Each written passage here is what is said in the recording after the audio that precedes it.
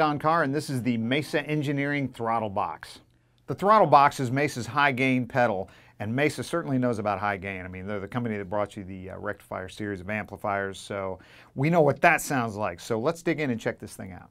Okay, as you can see, it's kind of a uh, standard size box, but there's a lot of flexibility in it. You know, you've got the uh, level control here, which can give you up to 20 dB of boost if you need it. That's just slightly over unity gain. Unity gain is really about 12 o'clock, but I like it pushing the amp just a little bit harder. And uh, here's your gain control. Again, I got it set at 12 o'clock, so you've got a lot of flexibility either direction there.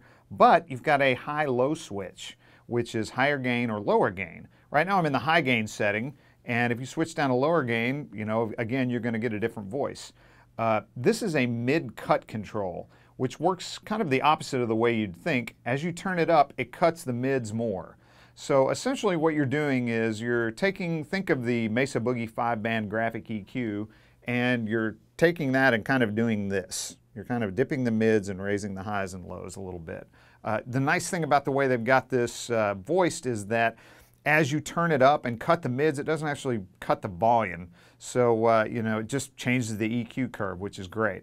And tone is more like a high-end kind of thing. It's like rolls off the highs or brings in more highs.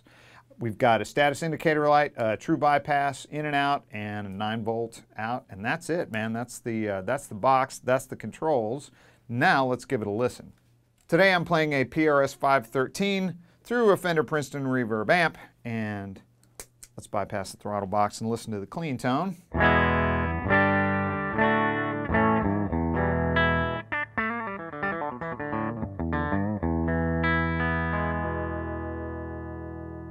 Cool, and here's the throttle box engaged.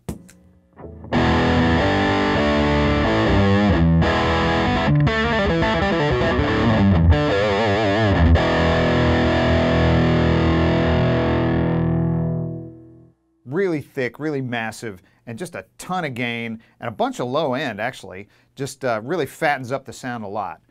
Internally, there's a switch that will allow you to back some of that low end off and a little bit of gain as well if you just want it for more of a balanced, flatter kind of sound. But man, with this kind of tone, that boosted low end is really nice. And so it comes from the factory actually with the switch engaged, and that's the way I'm playing it right now. Okay, let's twist some knobs. First of all, so the switch into low gain, listen to that. And you can also see that the uh, indicator light turns to green to let you know you're on the low gain side. Pretty cool.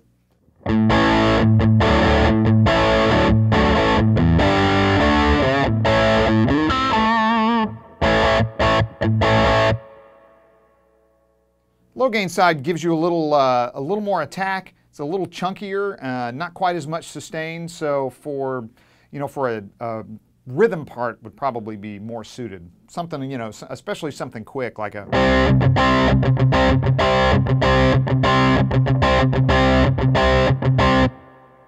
You can hear there's a lot more articulation.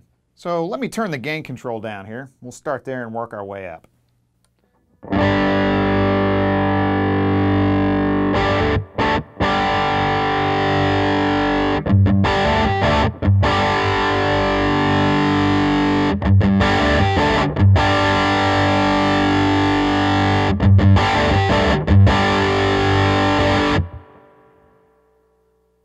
Remember, that's on the low gain side too. So here, now we'll start with the tone control. Give that a listen.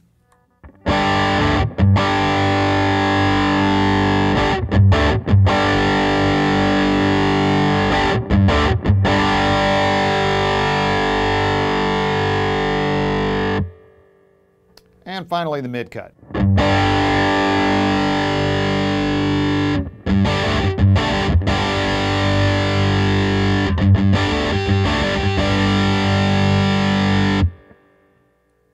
So again, as a quick reminder, that's kind of actually backwards. That's less mids, and this is more like a flat EQ.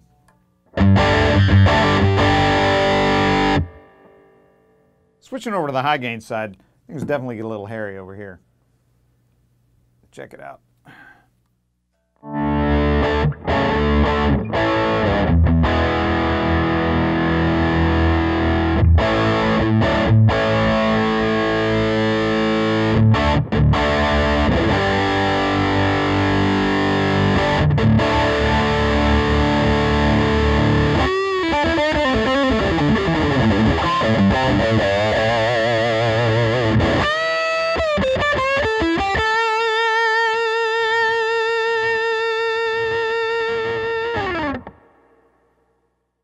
For the classic scooped mid tone, put a little more top end on it. There we go.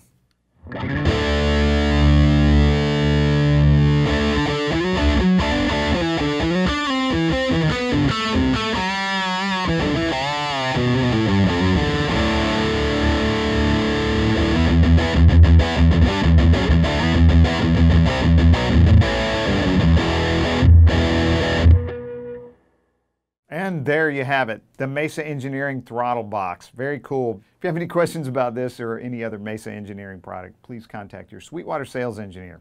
Thanks.